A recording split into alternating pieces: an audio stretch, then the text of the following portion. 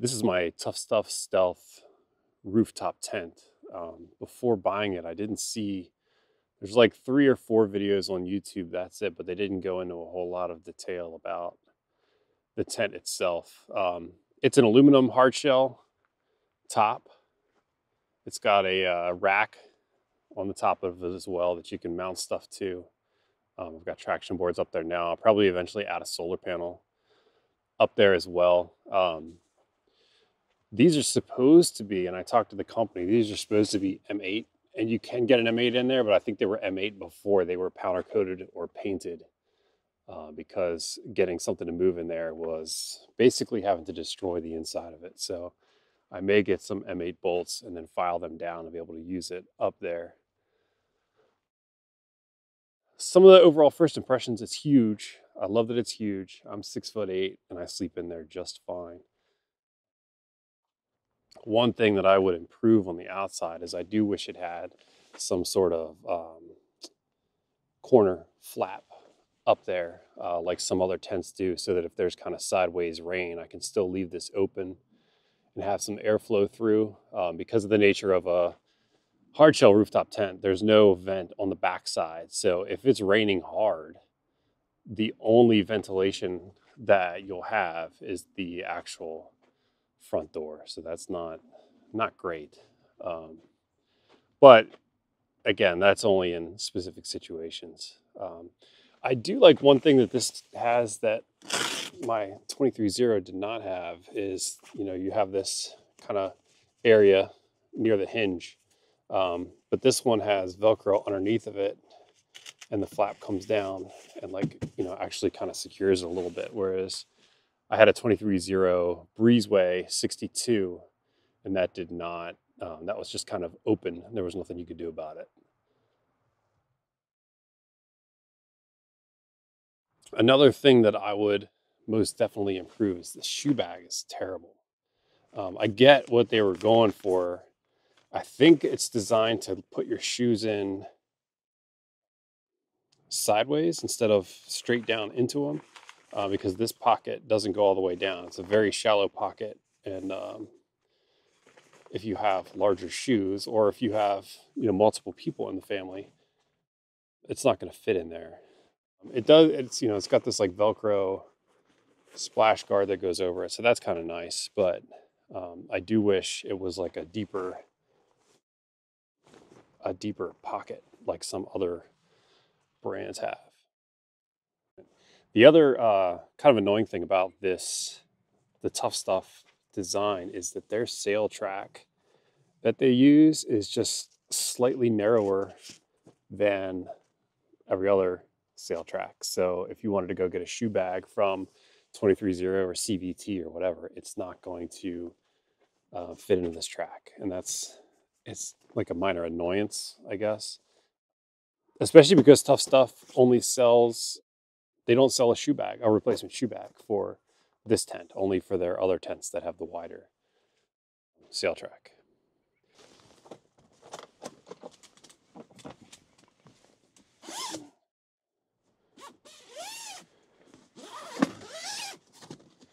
So in the actual tent itself, so one, you see all this light because there's a skylight.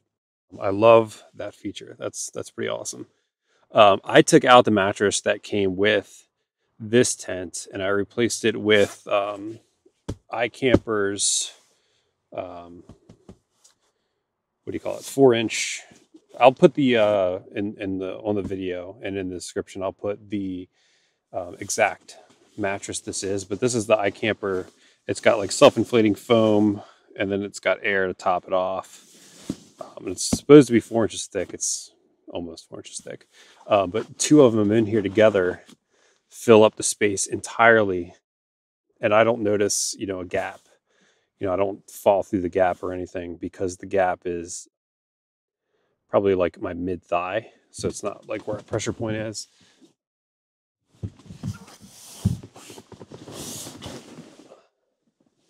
Um, inside the tent, huge amount of space. I can sit up.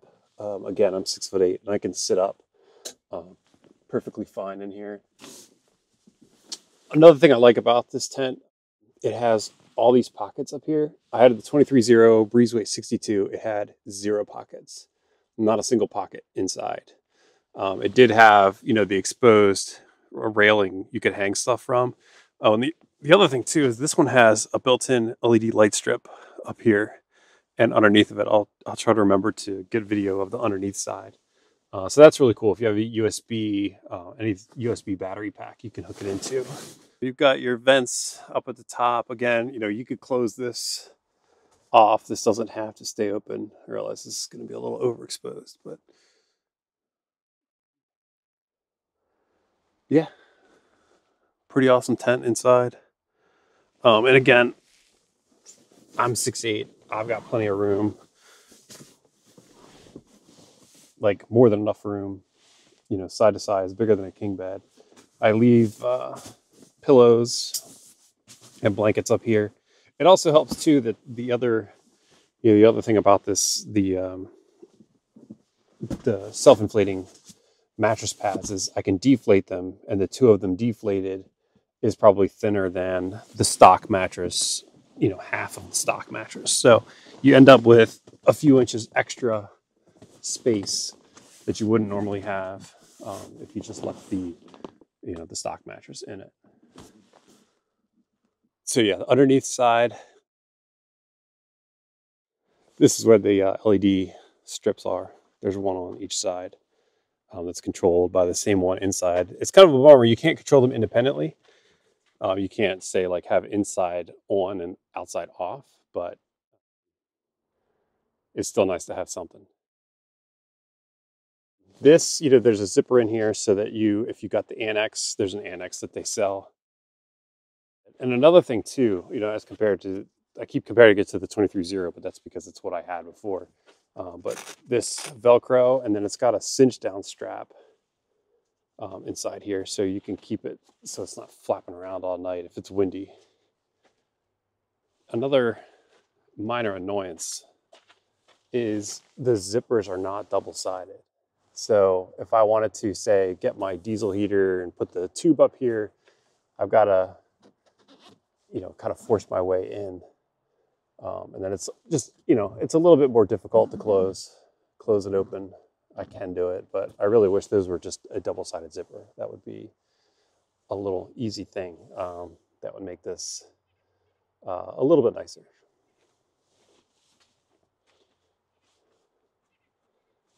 And I'll show, um, you know, I have a Nissan Xterra, so I'll show when it's closed up what it looks like on here.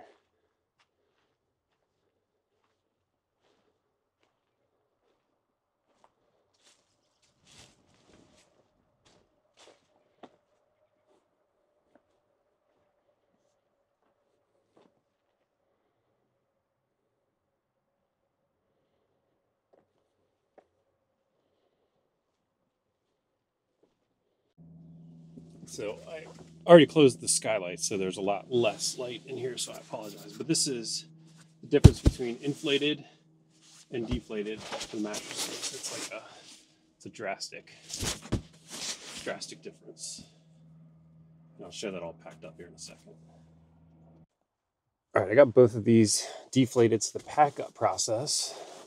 Film this the best I can with um, skylights closed and stuff. So basically, see that, uh, yeah, the gray space where is part of the lid. Um, basically, just put that there. Get this out of the way. There we go.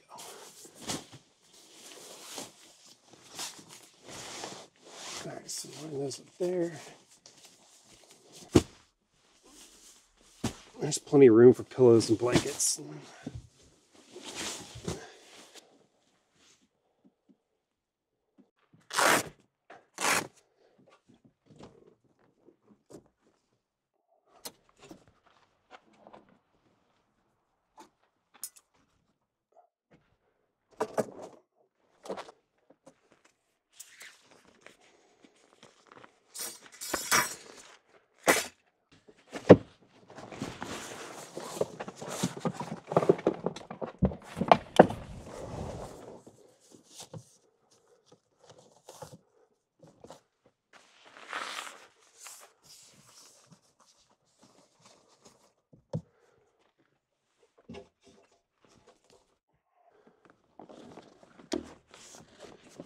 There's these little tension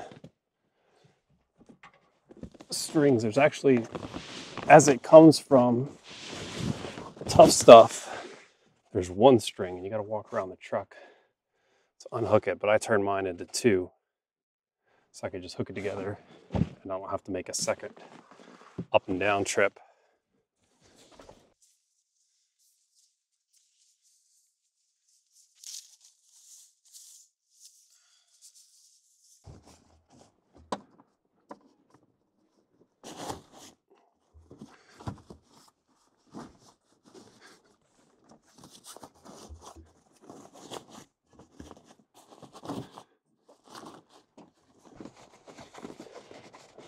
Same deal on the front, just tucking tucking fabric.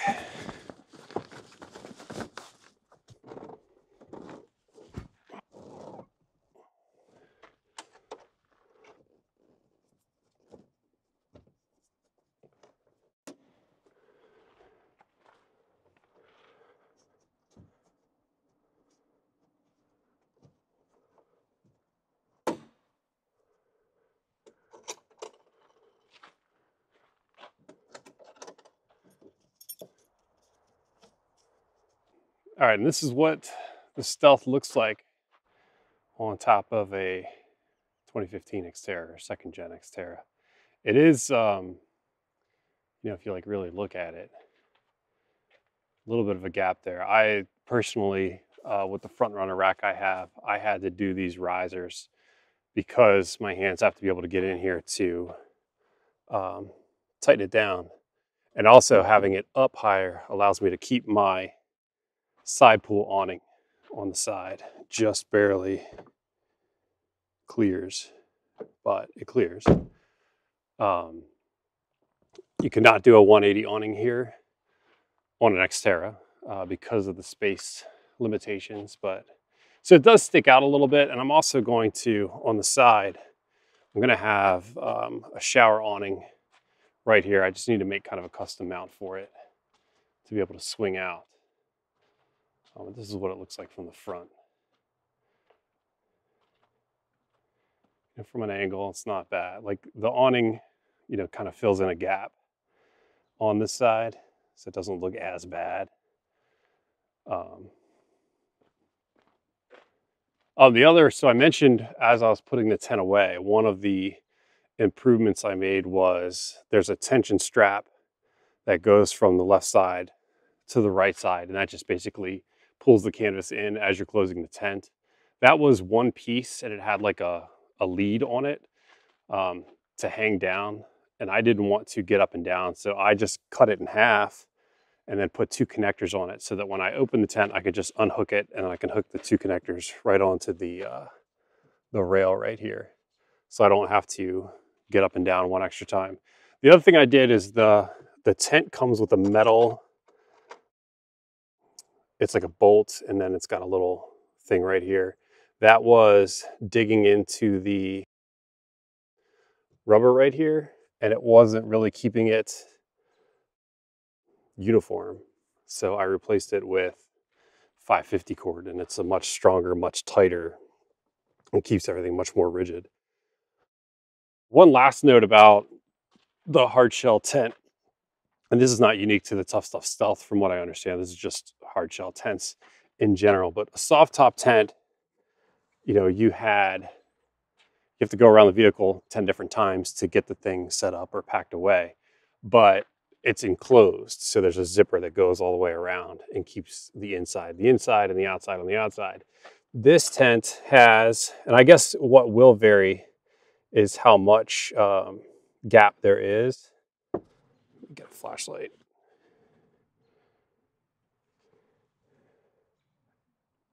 Um, but this one's got a little, like a three quarters of an inch, almost a full inch gap right there. And I did have some, um, last week we had some snow and salt on the road and I did get some salt and grime that kind of made its way into right there, but it was just at the end of the fabric. So it wasn't, you know, too big of a deal. It was easy to just wipe off. Um, I would be concerned though if you are storing this in a shed or something over the winter or whenever else, you're to have bugs you know, you're to have cocoons and stuff up in here because that's just what bugs do. Um, so that would annoy me. Uh, but keeping it in the garage, that's not so much of an issue and using it a lot makes it not so much of an issue, but uh, something to consider. Uh, but again, I think that's, you know, that's every hard shell rooftop tent. That's not this one in particular. Um, I'm thinking about, I may be able to just basically get um, a pool noodle and slice off a section of pool noodle and stuff it in there. Um, whether that'll work or not, I don't know, but it might. Uh, but that's it. That's an overview of the Tuff Stuff Overland Stealth. A couple minor things that I would change um, given the chance, like the double-sided zippers and having some sort of corner thing on the window, like a little bit of extra fabric uh, would make a drastic difference for all weather camping. Um, but I really like it, um, especially the size, especially with the improved mattress. The mattress that came with it um, just wasn't going to work at all. Um, I don't know who that might work for, but I'm a side sleeper and I'm heavy, so it's not going to work for me. Uh, but that's it. If I missed anything or if you have any specific questions about the tent, uh, leave a comment and I will do my best to answer it with pictures or text or whatever I need to. Uh, that's it. Thanks for watching.